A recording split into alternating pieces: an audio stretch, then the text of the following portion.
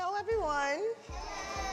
My name is Tamara George. Today, since I have so many young faces, I think I'm gonna focus on on goals for the future and things. VIP, initially it was a foundation that fostered the artistic abilities of kids. This message is just to tell you that you can do anything. When I took over the foundation, I wanted to focus on issues that were more personal to me.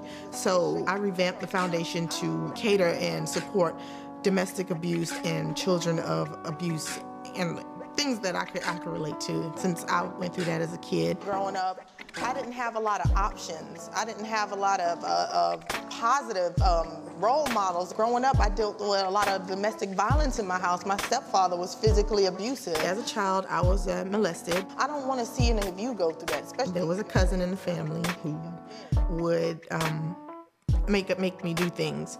Nobody knows the pain that you feel when you go through something like that. Before I go on, yeah, I'm gonna let Leanne introduce herself and tell you a little bit about what she wanted to do. Hello, children.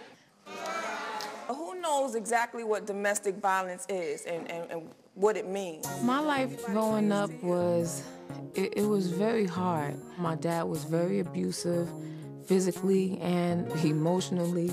When I saw him hit my mom, it was really, it just took me to a whole nother place. And I didn't look at him the same after that. And we're gonna talk a little bit about teen pregnancy. Does anybody understand exactly what that is? My dad left my mom when I was 10 years old. So my mom struggled working an $8.25 an hour job um, as a housekeeper. When he left when I was 10, I kind of rebelled from that and just took this freedom that I that I've been deprived of. I got pregnant with my first child at 15 years old.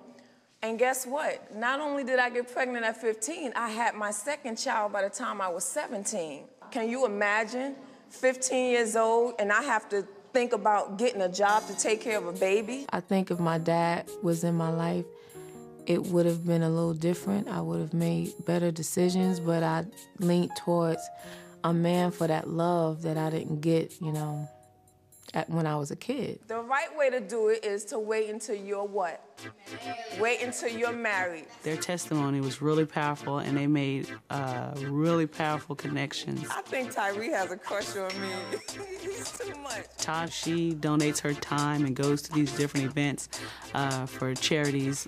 We wanted to come out here and encourage you. You would think that somebody that has been molested would be bitter, angry at the world, you know, and far from giving.